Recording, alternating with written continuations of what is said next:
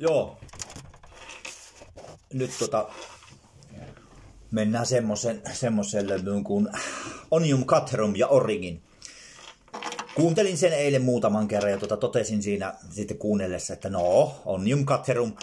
Ekalla ku- kuuntelulla, kun me kuuntelin sitä, niin sille, että no, onhan tämä ihan, on me kuunnellut kyseistä Pantti Karhulastahan se on, tai Kotkasta lähtöisin ja helvetin hyvähän se on ja tota, mitä nyt sitä on kuunnellut niitä levyjä, niin on tykännyt ja tietyt levyt on enemmän hyviä ja, tota, ja toiset sitten taas ei hyviä.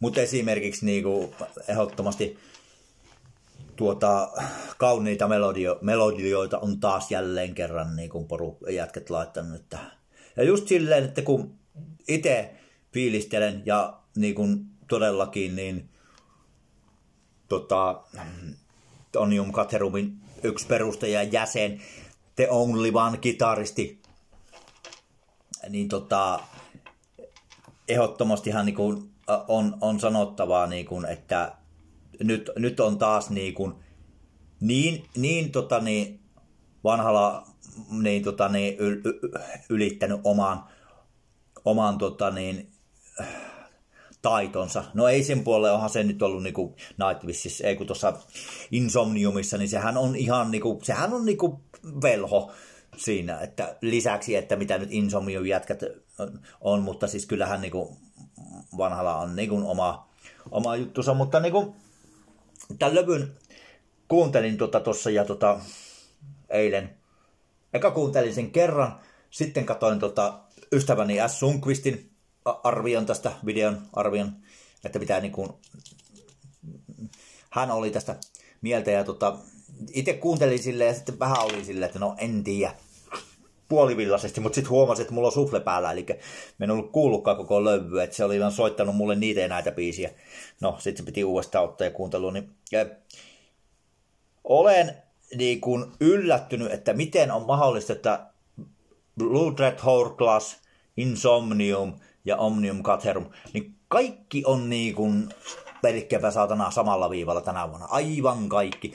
Kelläkään näistä niin ei ole huonoja biisiä. Ja varsinkin niin kuin, on, kun tämä Origin, niin koko uransa ajan ovat omaksuneet omalla Göteborg Melodit. Totta, siis Omnium Caterumin äh, Blood Hourglass, nämä kaksi, niin on ominainen, no miksei Insomniumkin, on ominainen, ominainen sen Göteborg Death Metallin, eli Göteborg Death Metallin nyt puhutaan uh, Atte Gatesi, Insomniumin 90-luvun uh, ennen 2000-luvun niin Insomniumi, i, tota, ei kun siis Inflamesin, klassista Inflamesia, Dark Royalty ja sitten Atte Gates. Nämä on aika kovasti, niin kuin ne paistaa ihan läpi Omnium Caterumin musiikkityylissä ja just niin kuin Blood Red Hourglass. Ja, ja, se on just se musiikki, mikä meikäläistä on koskettanut niin kuin vuosien varrella ja yleensäkin. Ja Omnium Caterumin kappaleilla on niin kuin esimerkiksi se biisi, se, mistä nyt on video, videokin tehty, niin se niitä autoja siinä videolla, niin tota, helvetin hyvä, mutta kiistatta niin tota, Vortidut, Vortidude on kappaleesta kiistatta ihan niin kuin, niin kuin ykkönen.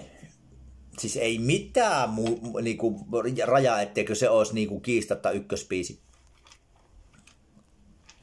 Niin kuin, sitten niin kuin on katsonut, niin niin kuin myös edellinen levy 2018 Burning Gold oli jumalattoman kova, mutta sittenhän tuli 2019 niin äh, Insomniumia, taisi olla Blue, Blue, Red Blue Horse Classillakin taisi olla silloin se Godseed, en muista ihan varmaan. Mutta joko tämä intro, ja intro on vähän silleen, no mien sitten tuossa introja ystävä tai silleen, että no se ihan kuuntelin, ja sitten niinku sen äh, intron jälkeen niin se Prime, niin sitten jumaliste, tämä on hyvä. Mutta sitten taas se mulla tuo Sufle, kun eka kerran kuuntelin, niin se ei antanut seuraavaa biisiä.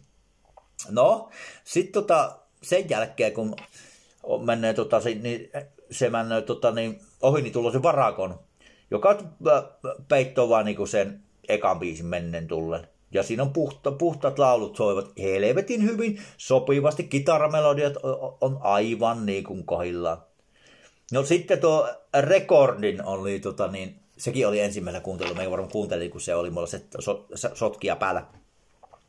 Niin, niin tota, sekin, nyt, me, että, nyt, nyt ollaan niin kuin, että ollaan niin kuin, nyt ollaan niin kuin jonkunlaisessa niin kuin, asia ytimessä, niin kuin Pulkkinen sanoo. Mennään asiaan nyt ytimeen. Niin, niin, tota. Sitten raadalla Viiso kappulin kolmas vastiainen Fortitude, joka edustaa Originin, niin kuin, se on rauhallisempaa puolta, mutta kyllä siis biisi on aivan uskomattoman tarttuva. Ja siis voi kyynel, siis mun mielestä niin kuin sanon, että se on e- e- e- ehkä, niin kuin Vortitu veti niin hiljaiseksi, kun kuuntelin sen. Eka oli niin kuin itse, että no eihän tämä, mutta sitten kun niin kuin katoin, kun en ole katsonut tota, ystäväni S. Sundqvistin tota, niin arvostelu, ja se sanoi siitä biisistä, niin tota, kuuntelin sitten niin kuin uudestaan, että ei, ei kyllä, kun Sami ei niin kyllä turhan takia yleensä kehu. Meillä on hyvin paljon, mä huomannut, että Sampal kanssa on tota, saman makun, aika paljon samanlainen niin kuin musiikkimaku. Ja siis biisi valikoima. No, joka tapauksessa, niin tota, se Vortidude, niin se, se iski kun lakolla, ää, tota, halkopiähän. Ja tota, sitten siitä sen jälkeen kuuntelin niin kuin hitaampi biisi Tempest oli ja sitten mä Unditi. Unditissa oli hyvät melodillinen, melodillinen tota, tunnelma ja sitten niin kuin koko levyn päättävä biisi Solem on ihan semmonen Fibana, ihan hyvä Fibanen biisi. Kyllä niin kuin, jos aloitetaan siitä, niin ensimmäinen, no se on semmoinen intro-biisi, kaksi minuuttia vähän yli tuo Emerange se on niinku sille alku, mutta ei niinku iske. Sitten Prime on sitten, joo, nyt alkaa kuulostaa hyvältä. Barakon on jo, että jumalauta, tämähän on ihan jees levy. Ehkä kolmannella kuuntelulla vielä sopi enemmän irti, mutta kyllä sitten Rekornin, että jumaleissa. Mutta sitten kun tulee Fortitude, Fortitude, niin tota, uhu, ja Fiction ja Tempest ja Unity ja Sulm, niin tota, kyllä Vitonen on eittämättä paras biisi. Fiction on myös ihan jees, Tempest on myös mutta siis kaiken kaikkiaan niin kovin ei, kovin ei tämäkään niin kuin tipaha tästä, niin kuin, jos sanotaan niistä kolmesta, tai niin kuin, tämä on eittämättä niin melodellisen death metalin, suomalaisen melodellisen death metalin, ja miksei koko melodellisen death metalin tämän vuoden top vitosessa eittämättä.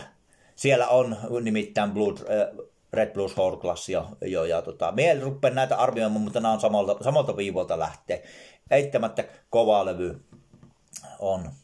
Ja, ja kun tota, se on niin kuin Red, Blood Red Horse klassikki sai tota kova arvion, niin saa pitämäkin. Kylmä, kylmä värret nousi. Sitten kun otin sen sakelin se toistajan päälle, kun se sufle oli siinä, niin tota, sitten älyisin niin kuin paremmin. Me on ihmetellyt aina, pitää varmaan katsoa tästä lähtien, että se ei ole muillakaan arvostelulevyillä ollut päällä. Niin, joka tapauksessa niin sanon, että äh, Onium Caterham ja Origin, niin se on 5 kautta 5. Ei tämä, ei tämä tota niin, tai siis, no, otetaan takas. Eikä oteta. Se on sama kuin muski. Siis tää on melodillisen death metalin tämän vuoden kovimpia levyjä, kieltämättä. Olisi pitänyt kuunnella jo silloin. No, hyvä, että nyt kuunteli.